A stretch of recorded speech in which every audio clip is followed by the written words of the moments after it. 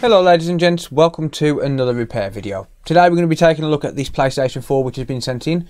And this particular console has been sent in because it has no display, or at least that's what I can gather from the ticket that come with it. So if we take a look at the ticket, we can see that it says PS4 original HDMI IC chip slash HDMI filter replacement. So that must mean that it's got no display and that it's not a HDMI issue. So we're going to take a look, see what's going on with it, and then see if we can get it fixed. So I'm going to plug it in. So let's pop some power into there and a HDMI cable. There we go. And let's try and turn it on.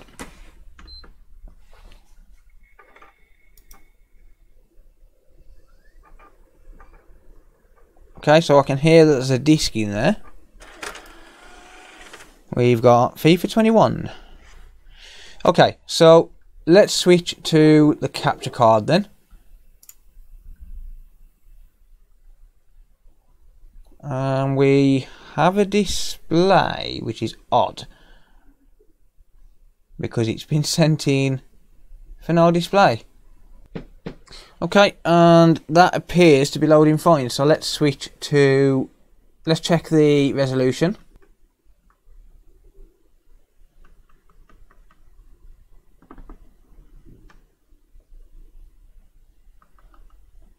And that appears to be working on 1080. And 480p as well. And then back to 1080p. So why has this been sent in? That is quite strange. So if we take a look at the TV over here, I can see that it is actually displaying. So it's quite odd how, I mean, there's there's a few reflections at the minute. It's quite bright outside.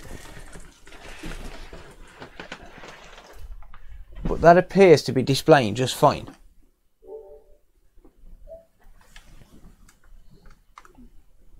So the question is, why has it been sent in? Hmm. Odd. Okay, I'm going to have to get in touch with Console Repair London, figure out what's going on, and resume the video in a moment. Let's just give that the wobble test. Oh,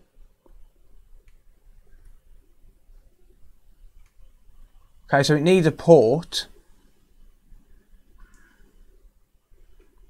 So it's going to need a port. But that could also be just flux in the port or flux in the cable. So let me give the cable a clean using isopropyl alcohol.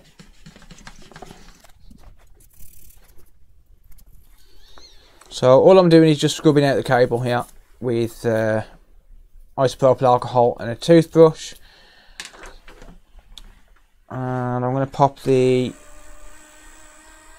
disc in. The disc is a little bit iffy to load. Just struggle a little bit with the disc. But what I'm also going to do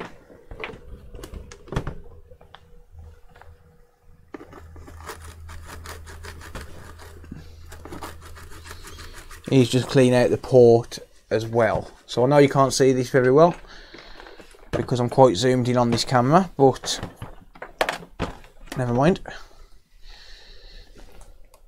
So let's plug it back in again. Straight on. And now it's working fine. So, one thing I am going to do, because this at the moment is going through a a lot of different things. So it's going from the PS4 into a HDMI splitter uh, where it splits one connection into four, or in this case two. But then this that splitter is going to the capture card and to the TV. So that could be affecting whether or not it's showing any kind of signal. So what I'm going to do is just take the HDMI cable out of the splitter. So let me just make sure that's the correct one. Alright, so this one here is going directly to the TV now. So let's plug that in.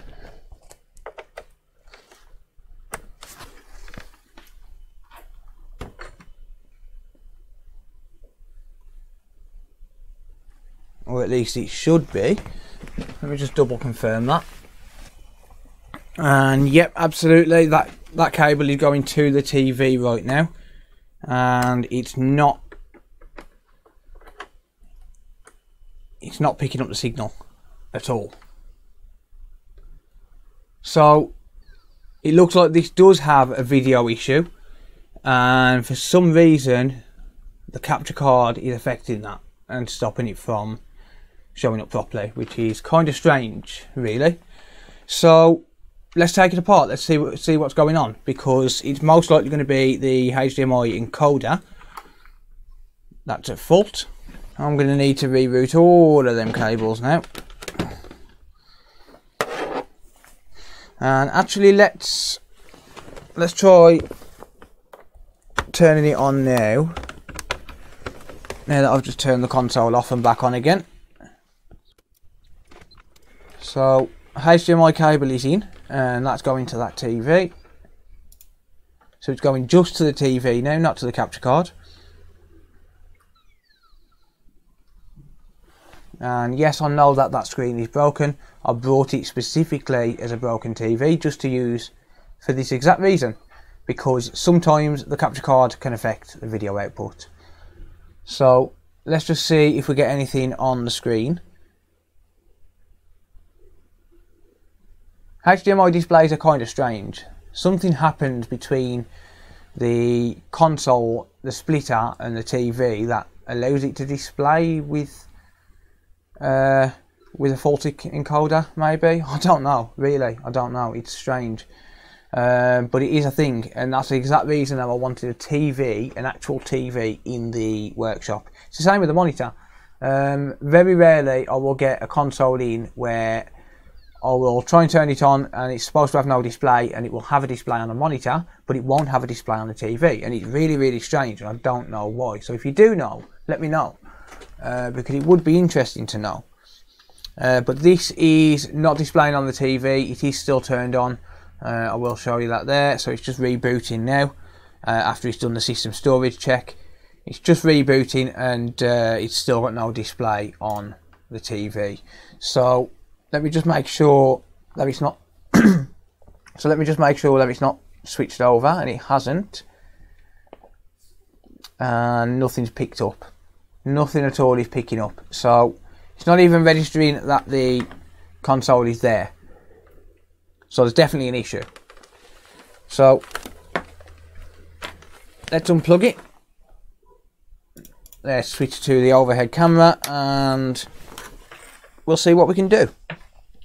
So that's the problem with doing videos is I need to be extra careful and make sure that they are and make sure that everything is working is one of the main problems with doing videos, but never mind, I will cope. If you are new to the channel and you like what I do while I've got your attention, don't forget to hit that subscribe button. It is absolutely free to subscribe, costs you nothing, and all you do is gain. So, if you are new to the channel and you like this type of content, I would really appreciate it if you hit subscribe. So I'm going to take this apart then. This is very likely going to be an issue with the HDMI encoder itself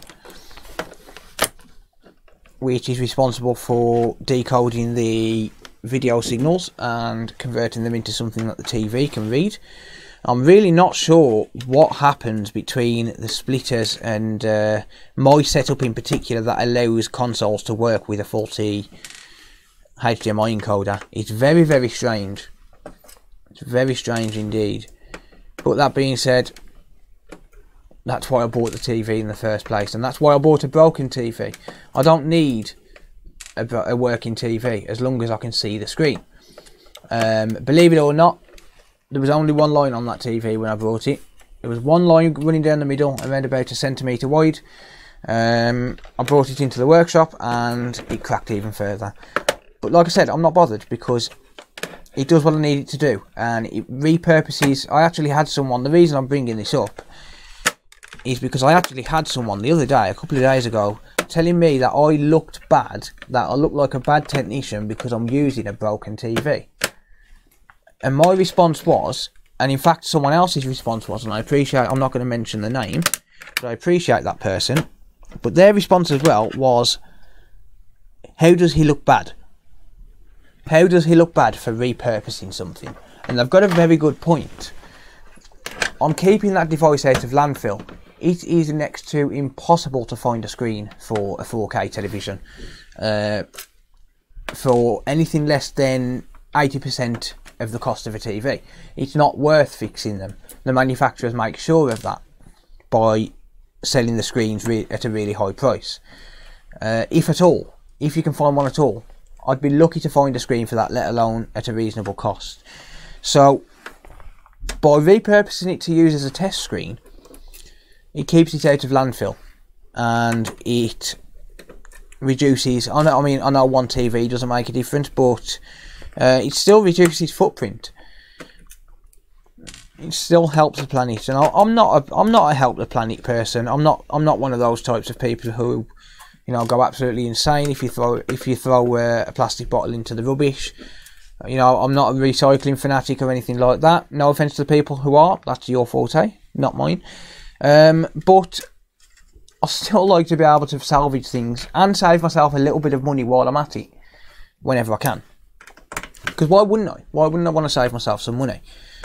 And uh, at the same time, repurpose something for the same use, the same purpose, but at the same time, a different purpose, if that makes sense.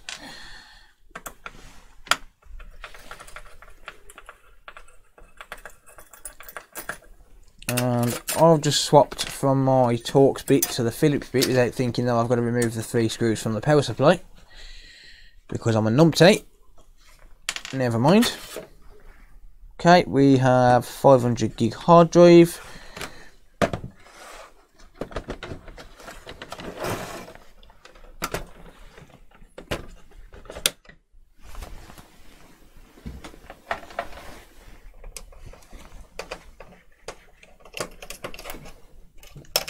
Remove these power supply screws.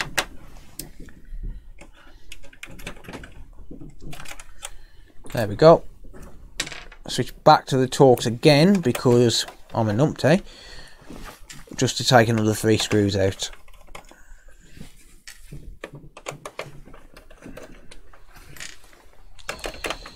Power supply.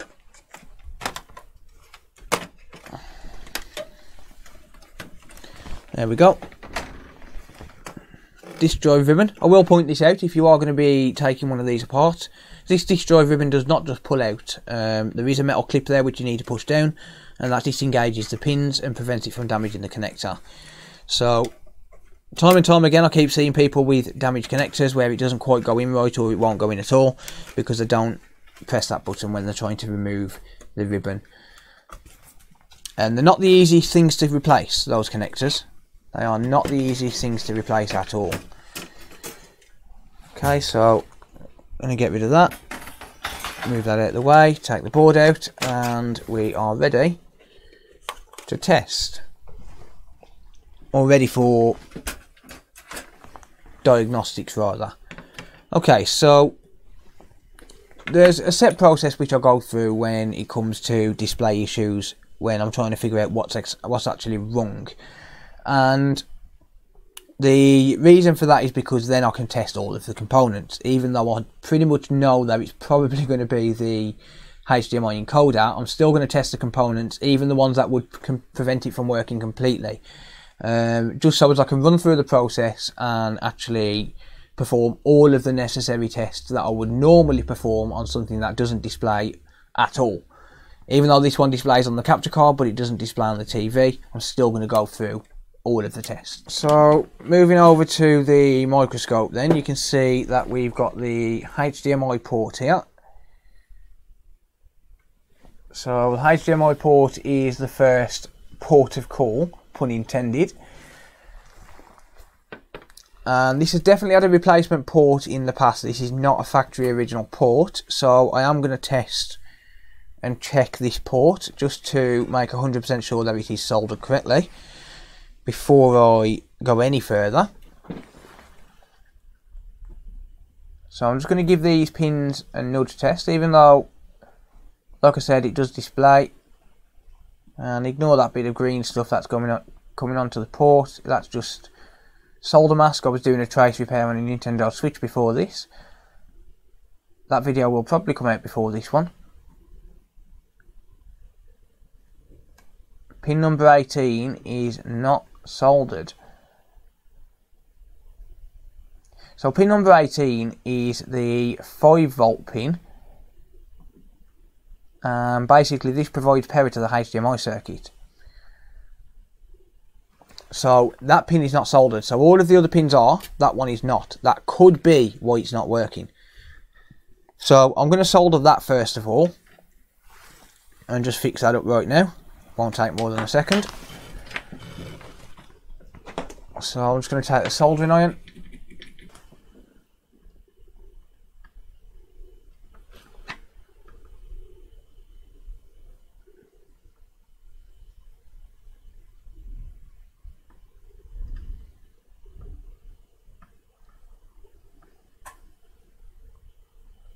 And I may as well just touch up all of these pins. If I'm going to do one, I may as well do them all. Like I said, doesn't take long.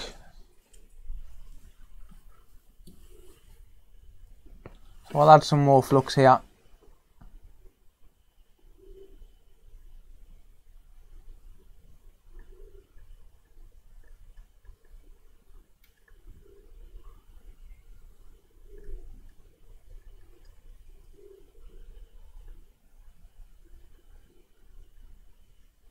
So I'm not sure who actually soldered this, but I should have checked the work. But that could very well be why it's not displaying. Or at least why it's not displaying on a TV. So let me just clean up that flux and I can check them again, make sure that they are actually soldered this time. Lesson number one, always check your work. If you're going to be doing this kind of work, you need to check and make sure that it's done properly. Otherwise, you are going to get issues like this. So this has had a replacement port. So that tells me that the original port was damaged at some point in the past. So again, that could lead to a faulty HDMI encoder. It could lead to a faulty EMI filter. Uh, it could it could be pretty much anything. So I'm going to go through the process and just do the tests on this side of the board the ones that I can do without removing the EMI shield off the other side. So I'm gonna. I don't want to remove that EMI shield unless I absolutely have to. So I'm gonna basically do the tests I can do from here, and then I'll put it back together enough for testing, just to see if it displays on the TV. So as you see there, those pins look so much nicer so much nicer. So let's just give these all a nudge test. So I'm going to zoom in a little bit.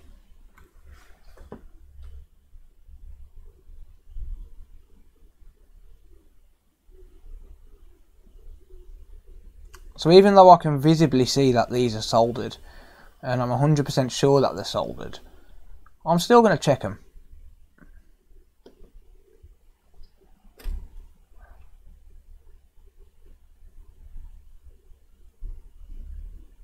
And yep, absolutely.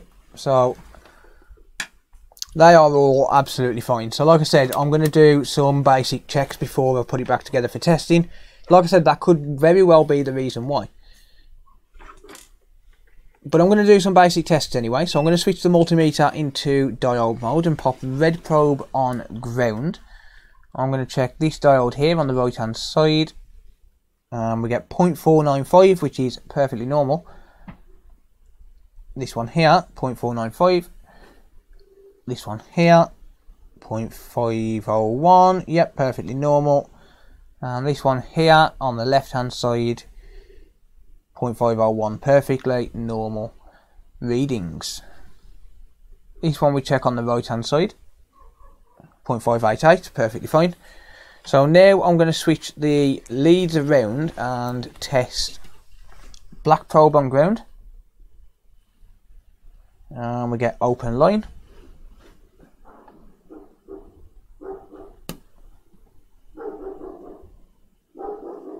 open line. I apologise about the dogs barking. Nothing but hassle since that neighbour had those dogs. And all of those test absolutely fine. So I'm going to pop into continuity mode now and just check on the resettable fuse, which is located just here. And it's marked as TH2001 with a big arrow pointing to it. And that fuse is absolutely fine. So that all tests out okay. So what I'm going to do is I'm going to put it back together, test it on the TV again, see if it works. If it doesn't, then I'll take the EMI shield off, test the EMI filters, and if they test fine, then I'll just replace the HDMI encoder. I'll just get that microscope out of the way. Turn the multimeter off because I keep killing batteries, which is really annoying. Um, what I'm going to do, like I said, I'm just going to put this back together just enough to test it out. So I'm not going to screw everything down, I'm not going to replace the thermal paste, I'm just going to turn it on, or rather put it back together, turn it on, see if it displays. If it doesn't, then I haven't wasted any more time. If it does, then I'll just take the motherboard out, it takes an extra one minute, but it also saves me saves me from replacing the thermal paste more than once. So I would much rather do it all before I replace the thermal paste and stuff. This could lend, this could lead to a very quick video Right, so let's switch back to the Phillips screwdriver just to screw these in.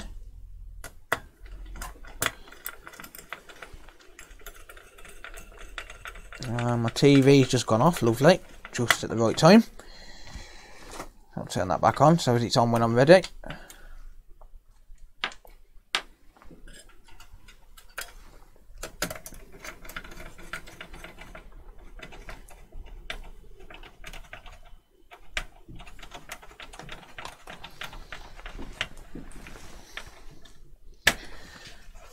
Go.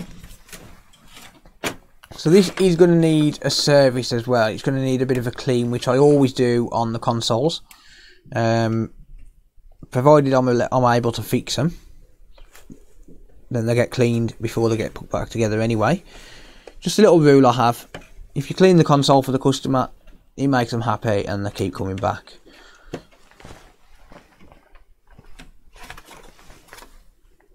Okay, so like I said then, let's just put it back together just enough to test. So that's going to be literally put the power supply in, pop in the hard drive, and that's it. Same cable as before.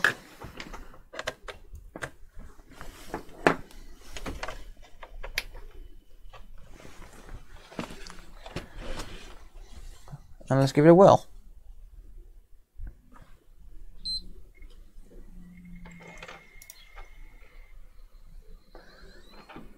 Okay, so let's see if the screen comes on now. PS4 connection is automatically enabled. So that's picked up that as a PS4 net there this time. So is it going to turn on?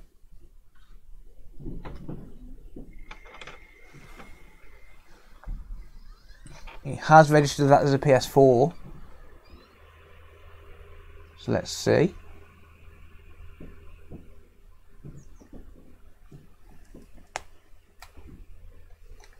Why is it on the wrong source? Input 1. There we go. That's picking up and working fine by the looks of it.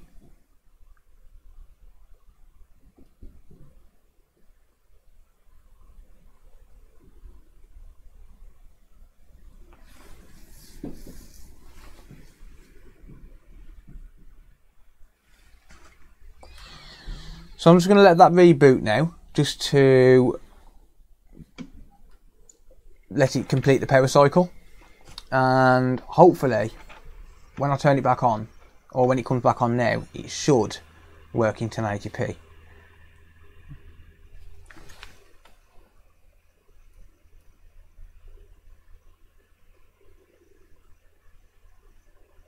I think I need to clean the port.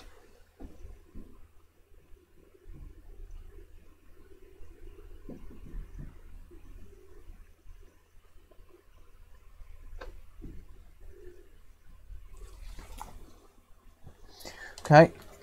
Um, this controller needs to be plugged in because the battery doesn't work on it. So it's literally my test controller. Can't be bothered to fix it. So yeah, there we go.